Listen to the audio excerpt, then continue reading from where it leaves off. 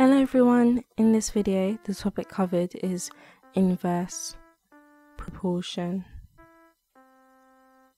The types of inverse proportion graphic, normal, and algebraic proportion. Graphic. Here is a graph that shows inverse proportion. To explain how a graph shows inverse proportion, you would have to say as one value increases, the other decreases, the curve doesn't intercept any axis. For example, this graph, as I said before, is inversely proportional. Normal inverse proportion. This is the rule for inverse proportion. Times for one and divide for all. For example, it takes two builders four days to complete a wall. Work out how many days it will take one builder to complete the same wall. Two painters equals to four days. One painter equals to question mark number of days. Since it's times for one, you have to times the number of builders or painters or whatever it is by the num by the number of days so there will be 2 times 4 which is 8 which means that the number of days it takes is 8 days. Algebraic. This symbol means is proportional to.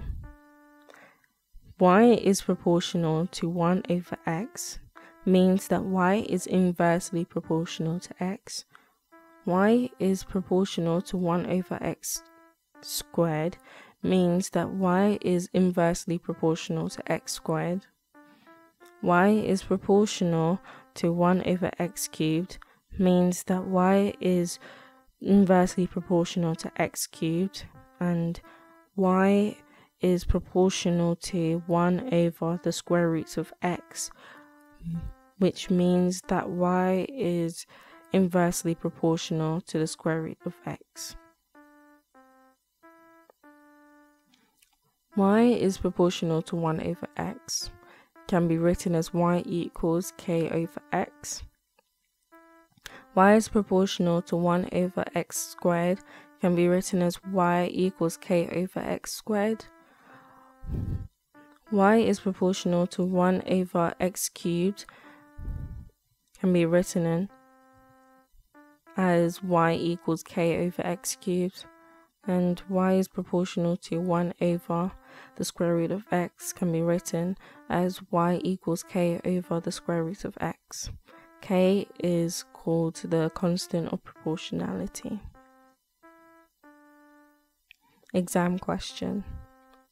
y is inversely proportional to x when x is 4, y is equal to 15. Find y when x is equal to 12.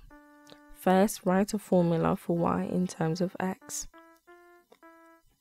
This is this shows that y is proportional to 1 over x, which is converted to the equation form of y equals k over x. Input the values from the question into the equation, so 15 equals to k over 4.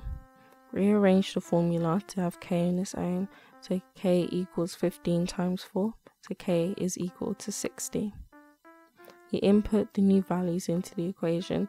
To find out y when x is equal to 12, y is equal to 60 over 12, which is 5. So y is equal to 5. I hope you found that useful. Please click on the subscribe and bell buttons for more content from this channel and please feel free to share. Thank you for your time.